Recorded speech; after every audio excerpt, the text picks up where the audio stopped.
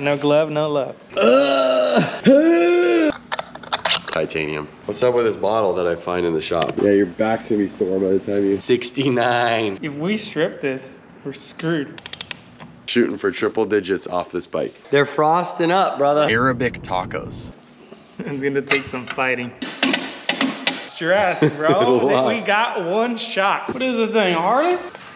It's a Sequan. It exploded, the battery melted. The brain that controls the motorcycle. This fool. We're gonna ride the poop out of it. We're so close to putting wheels on it, but there is one problem. Power tools. So let's dig into it. Let's get going. What is going on, guys? Welcome back to the vlog. Juan, this is a really, really exciting week. Absolutely. I mean, a lot of stuff's coming together, and uh, we're ready to make a lot of progress on the bike this week. Yeah, that's a fact. Here at Thrashin Supply and filming this right now, we have about a week and a half to get this bike rolling. And I think there's so much to do this week that we're gonna be giving you guys a couple days of vlogs. This is the last kind of build series that we do in this space. We purposely didn't move to the new facility because there's just too much mess here and we just did not want to move two taken apart lowrider STs with all the parts that are kind of like sitting around the shop. Too dangerous. Yeah. Stuff's gonna get missing, stuff's gonna get lost. We're gonna get through these builds, we're gonna be at Born Free, we're gonna be celebrating them, and then we'll start moving. A lot of exciting stuff. I think my main goal is gonna be uh, let's get the front end and swing arm on and see how that goes. We're gonna see a lot of progress quick, but then also it's gonna be like that last 10% that takes a lot of time to get done. So we're gonna see how much of that we're gonna capture, but uh, I'm excited. So let's dig into it, let's get going. This is the new one. Uh, I pressed it in when uh, you were gone, but uh, it's the revised height, so I'm excited to see that go on. All right. Are we already greased up ready to go? It's greased up, brother. Lubed up, bearings pressed on. Scared to touch the bearing because he doesn't have gloves No, on. I all right. I'm holding the nicely cleaned parts. No glove, no love. Good enough. All right, we're good there. We got sick tie hardware. Putting a little bit of assembly lube on there so we can get a true torque spec. Don't scratch my Bruh, it's not gonna scratch it. scratch the. Okay, and there's the one. We're not gonna torque it down yet. I'll just pinch it to where it's not gonna fall out. Where's the Öhlins? Is this you good with Yeah. the Let's pointing? keep going up, brother. How do you feel about that? I feel better than last time. How do you feel much. about the side? Let's see. Is the logo proper? Boom. Power tools.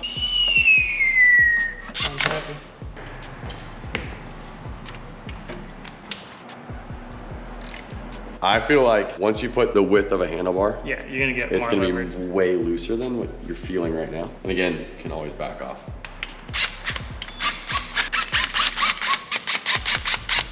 Why are you scared? If we strip this, we're screwed. You know what? I'm gonna go to 17. what? Getting worried? Take it easy. If I remember correctly, like my dirt bike ones were like right in that range in 19, I feel like. Paying attention to is that on a set of right side up forks or like forks you would see See on like a Dyna like that? the internals aren't being compressed as much if you torque it down more. Versus an upside down set of forks, the internals can be compressed and cause irregular wear. We need to uh, drill out, tap the threads. I think they just got some. We have to drill and tap the threads. no, we need. That's to, what you just said. No, we need to clean the threads on these because I think they got it uh, a little So bit. So you want to chase the threads We on need the wheels. threads. I'm gonna get some soap and water and All right, let's clean the threads and let's put the disc on these carbon wheels. We'll be able to compare it to this. this front wheel compared to that front wheel. Not only is it carbon, but it's also, we're gonna be using So tie hardware. Galfer brakes. it's really only towards the bottom, but it uh, won't let you set the screw in all the way. So What's that? it like binds towards the bottom of the thread. You realize that these are all metric? Yeah, I'm switching all the. I actually triple check because they give us a drawing. I was like, uh, let me make sure. Obviously, we know that fresh tires are slippery. Long time ago on that orange and dark Dyna. I put a fresh set of tires on it and I pulled out of the parking lot. Not even trying to do a burnout or anything. I slid like I was on ice. Literally just like, but and the bike just went right out from under me. Luckily I had a set of bags on it, so it really didn't hurt it. I was starting to think I would, it'd be really a bummer if these tires are slick and for some odd reason a mistake happens and we drop this bike. I would be so bummed. Should we try to buy tire warmers for these? Make it to where your initial ride? Or do you have to get over, do you think, the first Well, 100 miles no matter what? Two things, yeah, 100%. I think the mold release, Yeah. I think we need to get out of that or Yeah. get through that. If we're gonna film and you wanna like haul ass right away, 1000%. Even after the mold release is gone, Yeah. these tires, they take heat. Like you need to warm them up. Yeah. Because I'm not saying it's like uh, they're on ice, but like, cause I, I have these on my other bike and if the bike's not perfectly up, like if you're like a little lean from a turn and Yeah. you get on it, you feel it like, mm, you're like, all right, I need to, I need to heat these Yeah, up. You at don't least we want to ride it. Like, I don't want to like ride it like soft. I want to ride it gnarly. That'd be cool to get Like, warmers. yeah. It's almost like worth it as insurance for Yeah. this ride, even if it's just like the one time we use it. yeah. Dang it, Dale, no power tools.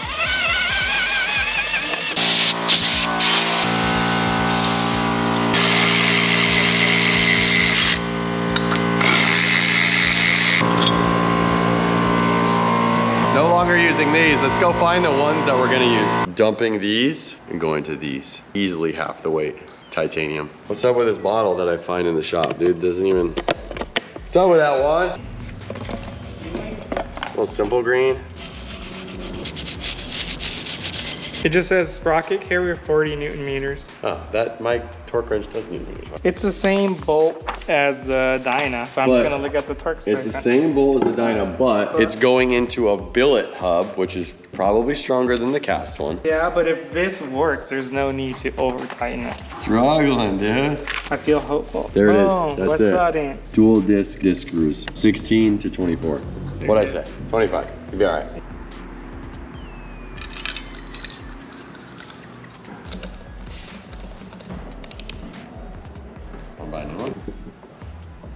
Threads are cleaned up, ready to rock. Almost time. Oh, I'm excited to to weigh these things. Yeah, your back's gonna be sore by the time you zeroed right there. Front wheel, both rotors, hardware, bearings. 37.5. I want to say it's sub 30. Yeah, I think it's sub 30. 24 and a half pounds. 13 pounds? Pretty good. Yeah, And the forks alone were 10, and then that doesn't include the fairing, the exoskeleton, 30 to 40 pounds off the front. just the front of the bike. I'm gonna throw the stock pulley back on the back wheel so we can get an accurate number of how much lighter the rear wheel is. Should we look it up? Yeah. You could those, and then I'll look at the.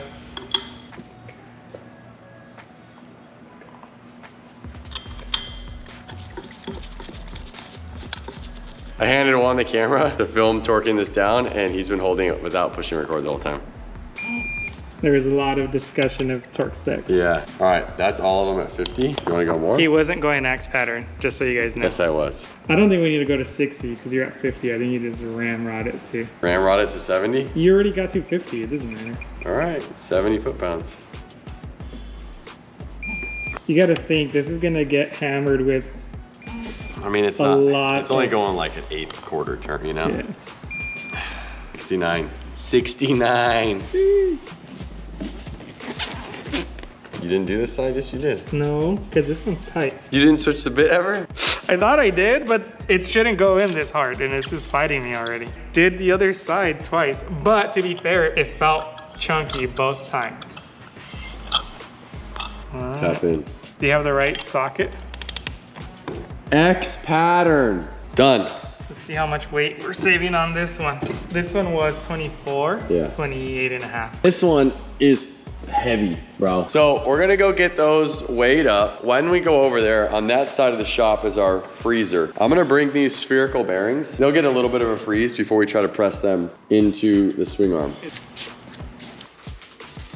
45 and a half pounds. That's the stock pulley, disc brake, tire, rim. This is way lighter. 30, 128 pounds alone But in wheels. what's harder or like you can't quantify with numbers is like because this is unsprung weight so like it makes more of a difference like in how it handles rotational mass like that is is gonna make the bike accelerate faster Shooting for triple digits off this bike. You gotta take a couple things over to the polisher. Mid controls and exhaust over there. We can bring the one we've been using. And then I think we need to bring a second one for the second bike if we can get that done. i want to do the bag brackets but that's gonna have to be like last minute because we need to like dimple die them Okay. so would you look at that just a look at it We gotta put the bearings in, follow their instructions. It says, use red Loctite when installing the front pivot bearings. Insert supplied set screws to lock in place. but does that mean loctite on the set screw or loctite on the shoulder here I feel like it means Loctite on the shoulder. You're not supposed to take them out. They're supposed to stay in there. And you would never want it to like go like this. What's that for?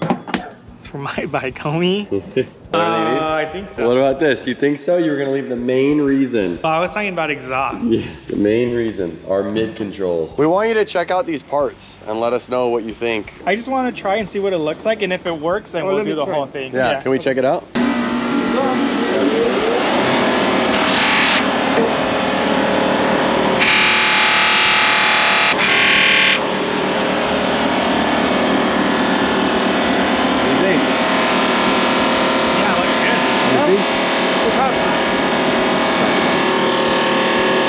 That's like polished. Yeah, You like that? I don't know. What do you think?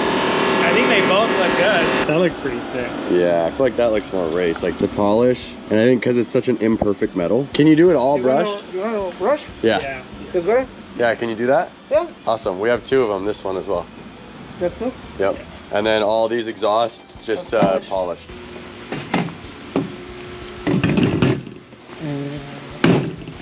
Okay.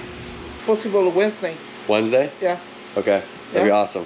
Thank you. Same time, okay? Wednesday.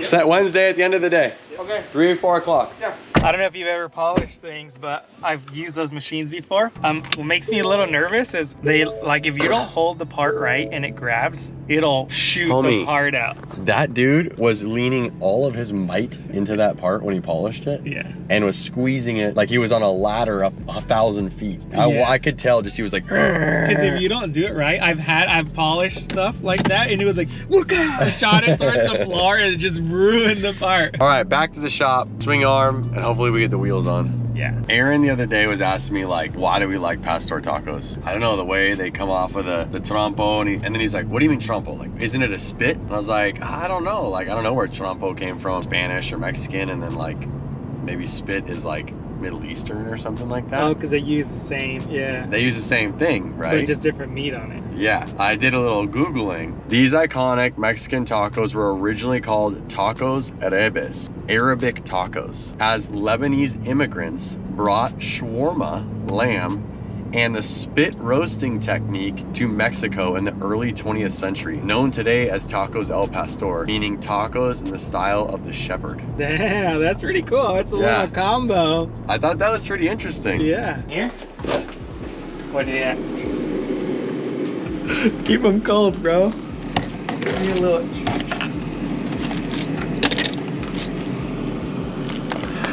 Hey, they're frosting up, brother. Why did you just take the last pair of gloves and No, left there the was box in another there? one. There was another one right there. So should we use red?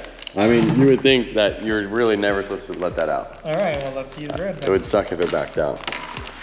Damn, that much? I don't know, bro. You can always wipe it off, brother. So talk to Dave at Track Dynamics, and he said that the retaining ring goes on the outside. That one was gnarly. We got it in. A little bit gnarlier than we thought. I don't know if we could have prepared better, so hopefully we're gonna prepare better for this one. Jesus, you did a whole boatload, dude. Well, you said a lot, homie. Jesus. Here, I'll wipe some off. And it's one of those things like once we do it once, if we had to if we had to do it again, we'd figure it out. We'd know what to do. We'd know where we made mistakes to start. All right, let's go throw it on the bike. All right, clean it Let's up. Clean that up, throw it on the bike. Getting exciting, guys. The bike start to look like a bike again. I mean, shit that you'd be able to push those in with your fingers. That's what you said, and that's what I was expecting. Okay. All right. Whoa. Shaft out of the frame. Pivot shaft.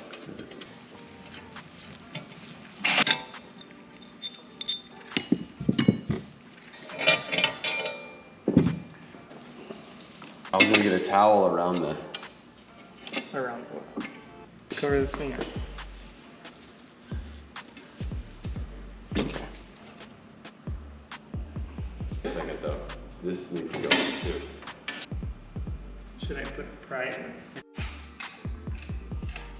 I can come back and look and see how cool it looks. How does it look? I legit do not know how this thing is gonna go on. It seems that the swing arm is pinched too tight like this way. It's either so precise. Uh, yeah, I'm a little concerned. I mean, we're gonna get it on. It's gonna take some fighting.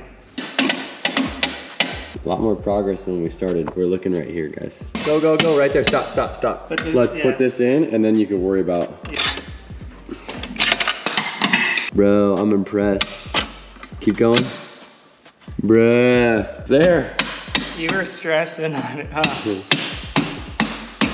Homie. Yeah, Sheesh. Ah. that was a little stressful. Jake, thanks for the hand. Jake, thanks for the hand job. Yeah, man, anytime. Creepy. Dang, dude. Stress, bro. Wow. we got one shot. Literally everything is one shot. We ruin anything, we're screwed. Hey, boys, where was it? Rob found it. Where was it? Uh, sitting next to the drag books and all the other books that look just like this one. Where though? Which which part? On Like the round table. oh, on the round table, like where everyone eats. We've already used the torque wrench half a dozen times. Gone in the book for the torque specs. Very normal. Should be doing the same when you're working on your bike. We're so close to putting wheels on it, but there is one problem. Our torque wrench only goes to 100 foot-pounds, and this bolt right here, per the factory service manual, is 154 to 170 foot-pounds, so it's quite a bit more. I don't want to have Snap-on truck come over here and empty our pockets. We're gonna go to Harbor Freight and pick up something that's gonna get the job done. And you need one other thing at Harbor Freight. Yeah, I need this like, it's a hydraulic ram. It's for the dimple die. Like, dude, let's just do the wheels when we come back from Harbor Freight. And he's like, can I just please see the wheel on the front end? I need to see some progress, brother. Stressing out here. I was trying to keep working and it said that the battery needed a charge before use. So let's plug her in, let's give her a charge. Big stress out. Yeah, we're gonna need help. Which way? What's it? Where's Is it arrow? Go. Damn! What is the thing, Harley? Tie bolts.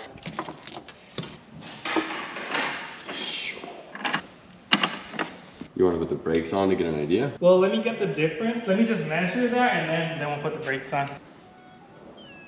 110. All right, I'm gonna take that. Hopefully I could just split it, put the calipers on, see what they look like.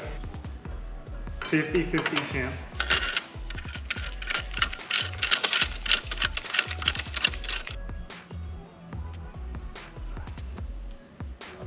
Just to keep track. And then I'll use that to make the spacers. It's looking good. Pull up right here, VIP homie. Pull up, right up front. What are we getting? Torque wrench up to 170 foot pounds. The thing is, we have one of those torque wrenches at the new shop. Yeah, waiting. I sent you a photo. Let's get the job done. Yeah, 80 bucks. All right. 250 to 250. Boom.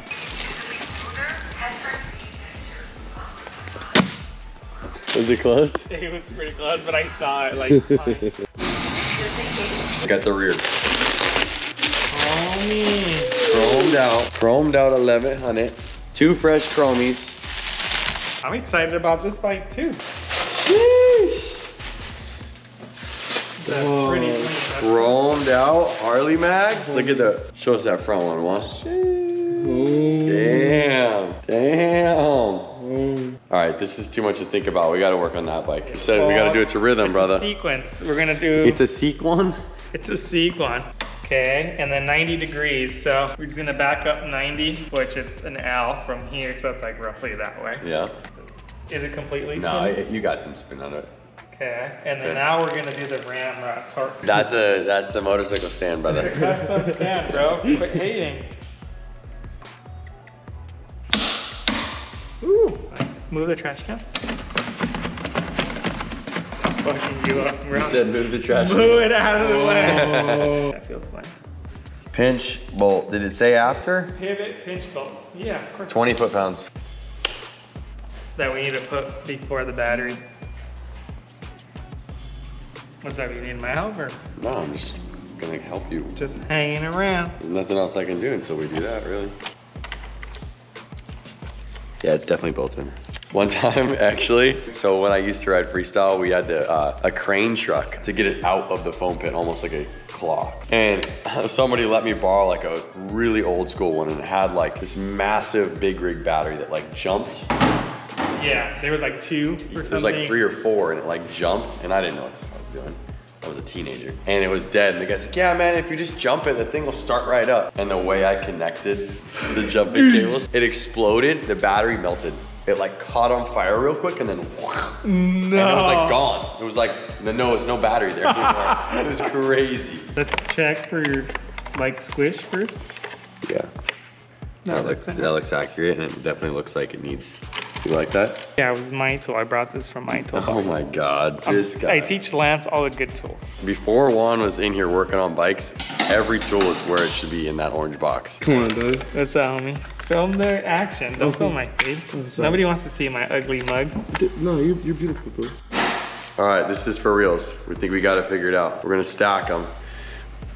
Whoa. There it is, there brother. it is. It looks like it fits nicely right there. Yeah.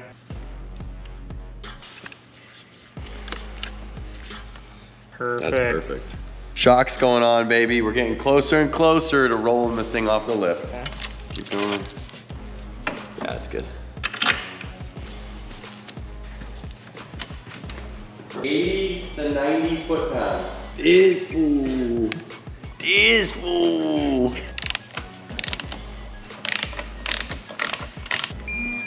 There it is. Getting close to that point where it looks like a bike. We threw the swing arm on and now it's on and the way that it's designed, it's it's at full relax right now. Yeah. And if you were to use any suspension, it would smush the wiring and even the plastic back here, dude. If the shock's up here, where is it hitting right now? Just there. Yeah, cut all that. Yeah, we almost need to cut this whole tray off. Yeah. As long as it holds the ECU, and then we'll have to relocate this harness. Let's just see what. So that's where we need to cut. Battery out again and trying to figure out what this whole board right here looks like. We are unhappy with the amount of travel we're getting right now. Yeah.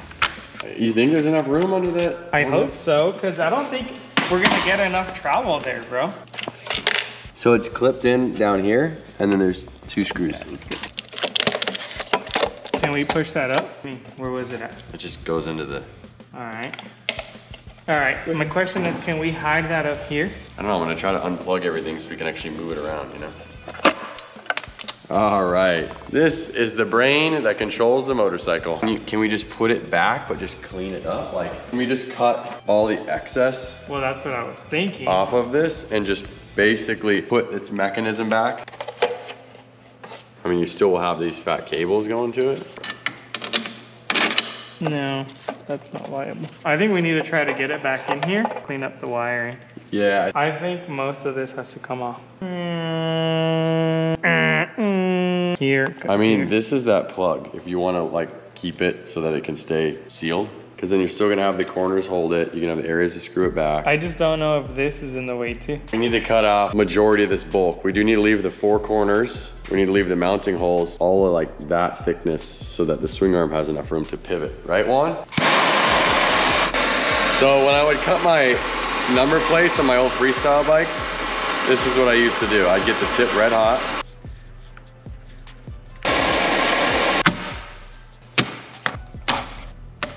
Blade gave out. We're gonna just do the last two inches. There she is. No, but what about that one?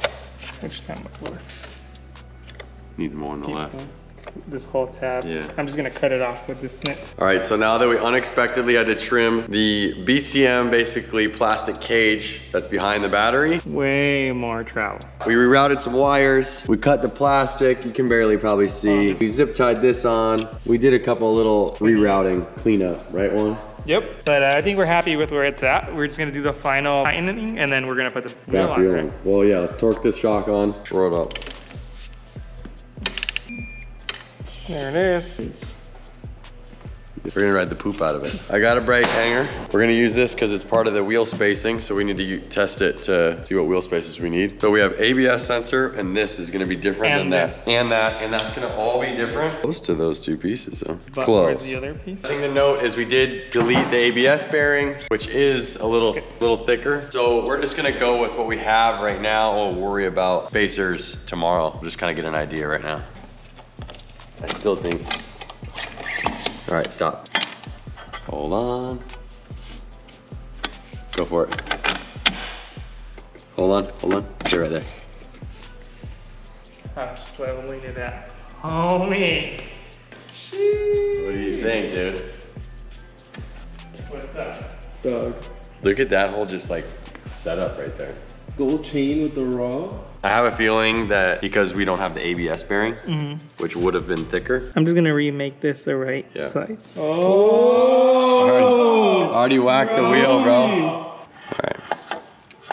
I think it's off anyways, dude. I mean, it don't look like it's centered at all. We're gonna take some off of this and add one here. We need to center the caliper Yeah. with the rotor. Yep. And then we need to adjust the height. The height is easy. Like that's just. Yeah, I mean- space. I mean, they're both pretty easy, but we just need to measure it. So yeah, we're gonna have to trim the inside spacer mm-hmm. to let it go in more and then And then put and a then put on the a third outside. one on the outside. To be honest, completely honest, I thought we would be here before lunch. I was like, dude, swing arm, easy. Front end, easy. And put the front end on 10 times on that bike. But We have a lot of work to do. A lot more than I had anticipated, to be completely honest, like you're saying. yeah, got all week. It's Monday. Yeah, so tune in tomorrow, 4 p.m. PST, because we still got a lot more work to do and we got to get this bike dialed in and we only have a couple days. So thank you guys for checking this out and uh, we'll see you on the next one.